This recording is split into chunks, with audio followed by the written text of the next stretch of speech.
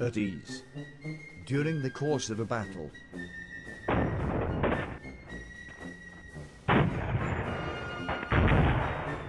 you will use gun emplacements like this. If the emplacement gets destroyed, an engineer is needed to repair it. On the kit selection screen, select the engineer kit and pair the emplacement by using the wrench.